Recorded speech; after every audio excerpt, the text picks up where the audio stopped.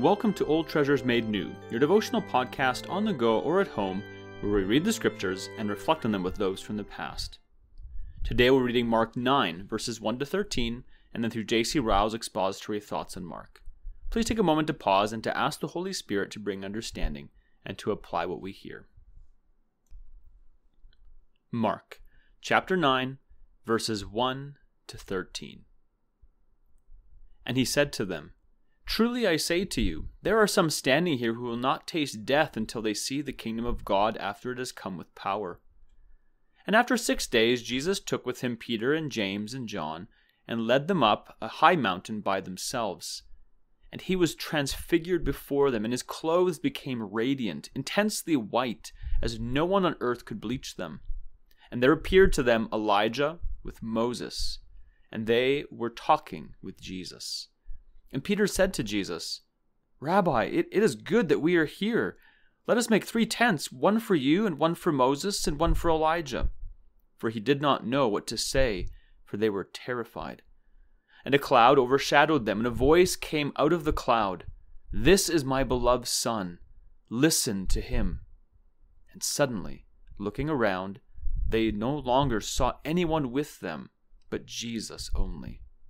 And as they were coming down the mountain, he charged them to tell no one what they had seen until the Son of Man had risen from the dead. So they kept the matter to themselves, questioning what this rising from the dead might mean. And they asked him, Why do the scribes say that first Elijah must come? And he said to them, Elijah does come first to restore all things. And how is it written of the Son of Man that he must suffer many things and be treated with contempt? But I tell you that Elijah has come and they did to him whatever they pleased, as it was written of him. And when they came to the disciples, they saw a great crowd around them, and the scribes arguing with them. And immediately all the crowd, when they saw him, were greatly amazed, and ran up to him and greeted him. This is the word of the Lord. The connection of this passage with the end of the last chapter ought never to be overlooked. Our Lord had been speaking of his own coming death and passion, of the necessity of self denial, if men would be his disciples, of the need of losing their lives, if we would have them saved. But in the same breath, he goes on to speak of his future kingdom and glory. He takes off the edge of his hard sayings by promising a sight of that glory to some of those who heard him. In the history of the Transfiguration, which is here recorded, we see that promise fulfilled. The first thing which demands our notice in these verses is the marvelous vision they contain of the glory which Christ and his people shall have at his second coming. There can be no doubt that this was one of the principal purposes of the Transfiguration.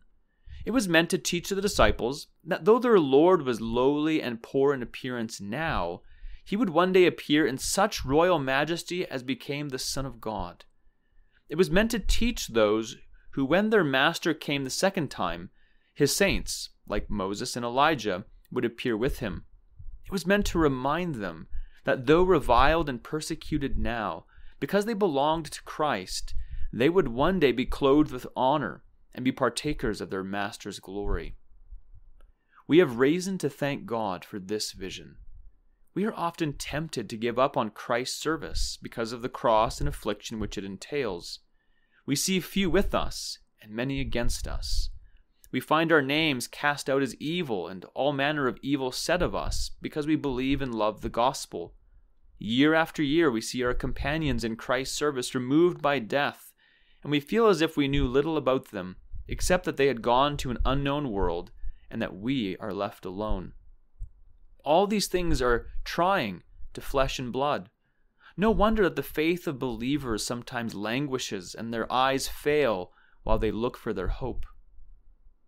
Let us see in the story of the Transfiguration a remedy for such doubting thoughts as these. The vision of the Holy Mount is a gracious pledge that glorious things are in store for the people of God. Their crucified Savior shall come again in power and great glory. His saints shall all come with him and are in safe keeping until that happy day. We may patiently wait. When Christ, who is your life, appears, then you will also appear with him in glory. Colossians 3 4.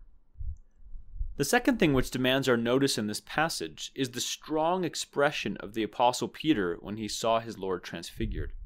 Master, he said, it is good for us to be here. No doubt there was much in this saying which cannot be commended. It showed an ignorance of the purpose for which Jesus came into the world, to suffer and die. It showed a forgetfulness of his brethren who were not with him, and of the dark world which so much needed his Master's presence. Above all, the proposal which he made at the same time to make three tents for Moses, Elijah, and Christ showed a low view of his Master's dignity and implied that he did not know that a greater than Moses and Elijah was there. In all these respects, the apostle's exclamation is not to be praised, but to be blamed. But, having said this, let us not fail to remark what joy and happiness this glorious vision conferred on this warm hearted disciple. Let us see in his fervent cry, It is good to be here. What comfort and consolation the sight of glory can give to a true believer. Let us look forward and try to form some idea of the pleasure which the saints shall experience when they shall at last meet their Lord Jesus in his second coming, and meet to part no more. A vision of a few minutes was sufficient to warm and stir Peter's heart. The sight of two saints in glory was so cheering and quickening that he would gladly have enjoyed more of it. What then shall we say when we see our Lord appear at the last day with all his saints? What shall we say when we ourselves are allowed to share in his glory and join the happy company and feel that we shall go out no more from the joy of the Lord? These are questions that no man can answer. The happiness of that great day of gathering together is one that we cannot now conceive. The feelings of which Peter had a little foretaste will then be ours in full experience. We shall all say with one heart and one voice, when we see Christ and all his saints, it is good to be here. The last thing which demands our notice in this passage is the distinct testimony which it bears to Christ's office and dignity as the promised Messiah. We see this testimony first in the appearance of Moses and Elijah, the representatives of the law and the prophets. They appear as witnesses that Jesus is He whom they spoke in old times, and of whom they wrote that He would come.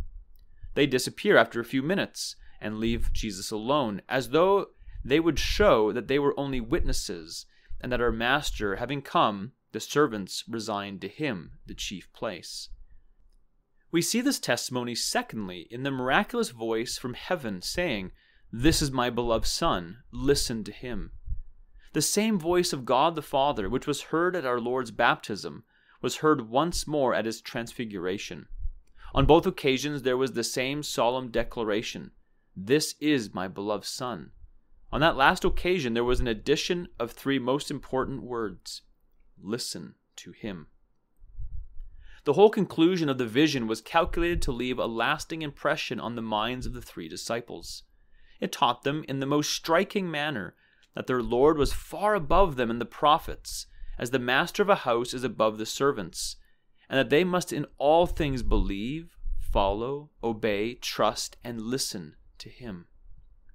Finally, the last words of the voice from heaven are words that should be ever before the minds of all true Christians. They should listen to Christ. He is the great teacher. Those who would be wise must learn from him.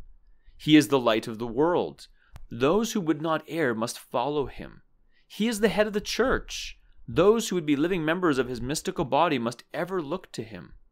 The grand question that concerns us all is not so much what man says or ministers say, what the church says or what councils say, but what says Christ. Let us hear him. In him let us abide. On him let us lean. To him let us look. He and he only will never fail us, never disappoint us, and never lead us astray. Happy are they who know experimentally the meaning of the text. My sheep hear my voice, and I know them, and they follow me.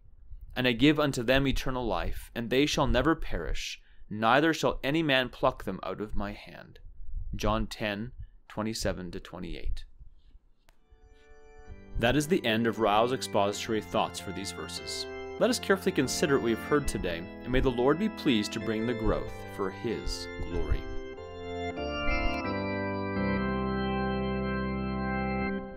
In considering what we've just heard, would you prayerfully ask yourself and others the following questions?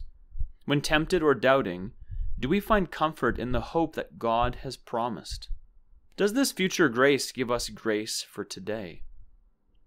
With that in mind, number two, when was the last time we sought to form some idea of the pleasure that will be ours at the second coming of Christ?